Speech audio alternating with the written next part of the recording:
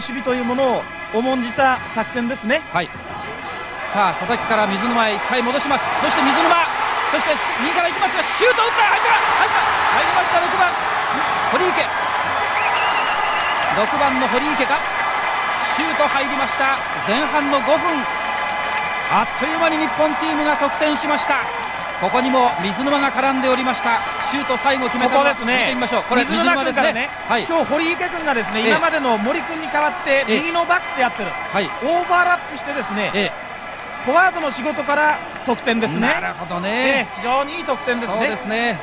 今日はいつもの右にサイドバックはどこへ上げますか。ゴール前に2人そして遠くから1人。さらにさらにその遠くから3人います。ヘディングは入ったかました。よし、日本が入りました。ヘディングシュート。17番の前田君ですね。かね。ええ。前半の16分左のコーナーキックから日本。前田ヘディングバウンドさせるシュート決まりまして2点目が入りました。日本2対0非常にね、いい時間帯と、それからいい得点の仕方ですね。はい。先ほどは流れの中から取った得点、ええ。そして一番最初取ったですね、コーナーキックを結びつけてしまう。はい。非常に今日はあれですね、リズムでサッカーしてますね。ね。えやっとこのワールドカップ予選でエースストライカーと言われていた前田が点を取りました今のシーンです。またいいキックしましたね水沼も。えいいキックしましたね。これワンバウンドで入りました。水中川の非常にね、広範囲な組み立てとのようやってくれてますよね。ええ。水沼長谷川です。フリーキックを得た日本。さあゴール前。キーパーいったかあまだ入らないか。入ったか。入った。入った。入りました。キーパーがパンチしましてこれは触ったかどうか。触ったような気もしましたがね。あるいは空振りでそのまま左のポストに当たってそのまま入ったのかちょっと分かりませんが。日本18分に3点目が入りました。5分に1点16分に2点18分3点目。ここですね。はい。堀江君がちょっとつる動きが入ってでキーパーが出てきますね。触ってますね。えちょっと触ってますけどね、あ2番。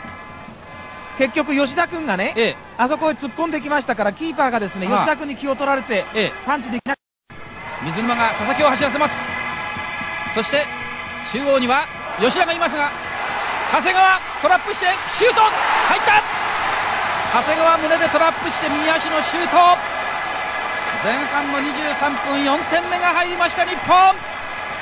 4対0また今ね、もしかし水沼が左の佐々木。佐々木から長谷川へ。そうなんです、ですからね、新藤君からですね、はい。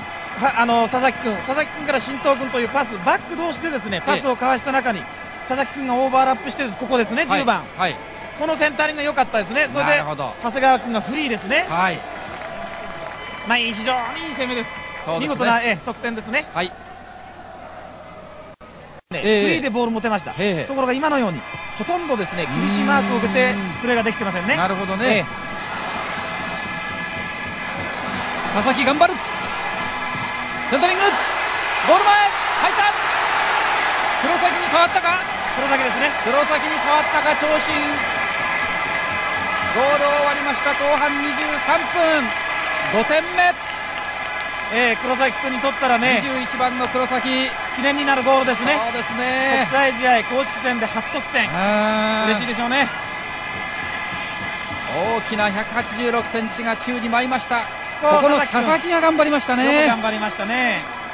でいいセンタリングでした、この後ろ。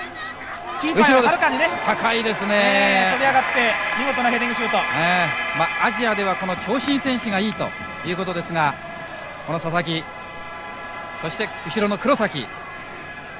あの、まあ、日本で